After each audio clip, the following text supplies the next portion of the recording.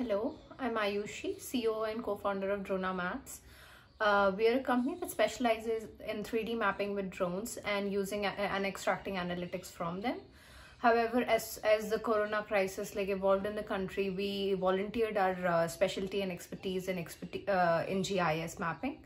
Uh, for the state of Punjab in the beginning and now we're expanding to other states. What's happening here is in three uh, steps. The first step is to create a dashboard that gives a reliable source of information for the public at large. So we started with an India dashboard that integrates and pulls data from Ministry of Health and Family Affairs and uh, publishes it in a format that is understandable and visually like stimulating.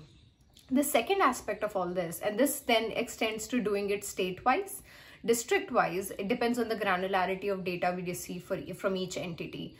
The second part of all this is creating an administrative dashboard that makes it easy for decision makers to understand how many suspected cases they're looking at, how many quarantines, how many people are um, have to be tracked and mapped across the entire area.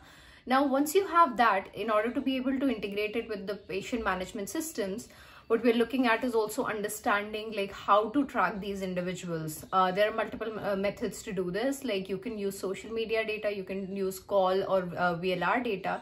And the other aspect of it is just using maps, uh, apps for tracking and uh, geofencing these individuals so that we know when they have crossed their quarantine boundaries.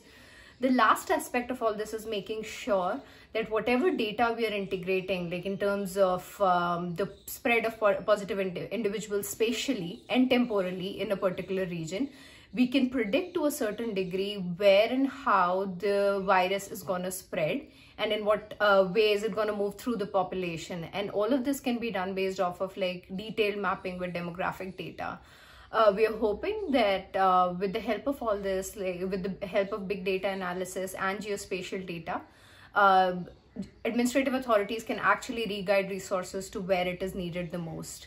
And our role in all this is to provide like reliable information while doing like uh, very cutting edge analysis of the entire data coming in. Thank you so much.